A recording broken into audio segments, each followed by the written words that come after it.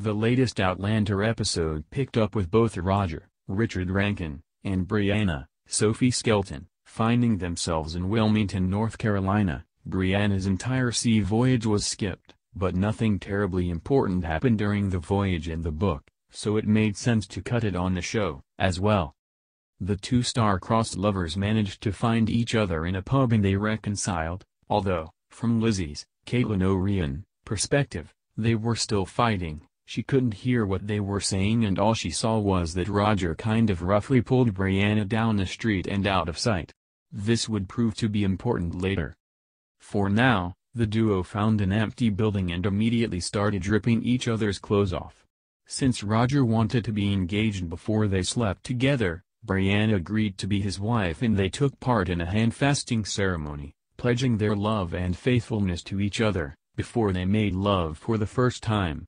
Their ceremony was something done in those times when access to a clergyman was not readily available.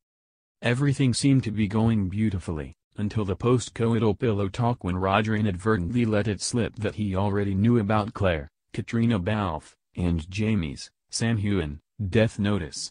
Brianna was furious that he didn't tell her about it, while Roger argued that he knew she'd want to travel back in time, and he didn't want to risk that. She yelled that it was not his decision to make, he took away all her agency in this, which infuriated her. But she was not the only one who was mad. Roger was still holding on to some anger about the way Brianna left him, with nothing but a letter that he wasn't even supposed to get for a year. The two fought, and she threw him out, maybe making some wonder why Brianna still loved him after he has said some really ugly things to her in more than one recent fight. Anyway, when she returned to the pub, who should Brianna see but Stephen Bonnet, Ed Speleers, playing cards and gambling her mother's silver ring. Brianna offered to buy it from him, and he took her to a back room to talk about it because he never haggled less, in public. It was there that Bonnet raped her and then gave her the ring as payment for their time together. Making a disturbing scene even more uncomfortable were the non-reactions of the other men in the pub, who sat there completely unconcerned as Brianna screamed for help while Bonnet raped her. After she took the ring, because at this point she might as well, Brianna gathered herself and tried to walk out of the pub with as much dignity as she could muster. Meanwhile, it seemed Wilmington was a busy place because not only were Roger and Brianna there, but so were Claire and Jamie. They came to town to meet Fergus, César Domboy, and Marsali, Lauren Lyle, Baby Boy, but also because the governor invited them to attend the play as his guest. Back in the second episode of this season, the show cut a book storyline where Claire performed a hernia surgery on a man at Jocasta's, Maria Doyle Kennedy, estate in the middle of a dinner party.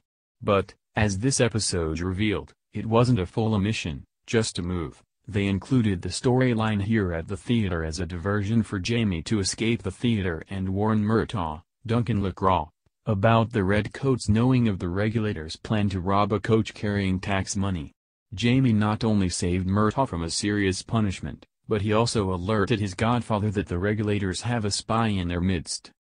Plus, the hernia operation in the theater lobby also put Claire and Jamie high in the governor's esteem because of her exceptional surgical skills.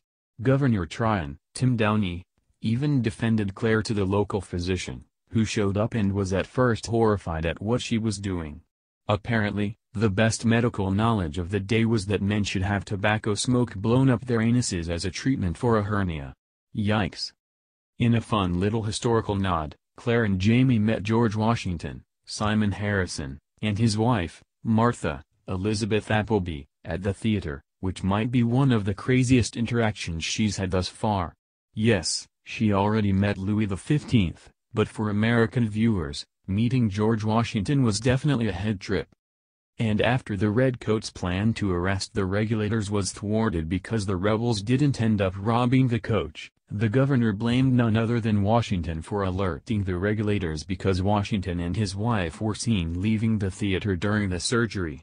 It was a nice way to tie the Washingtons into this storyline since we all know he ends up being a leader of the American Revolution. Well done, show.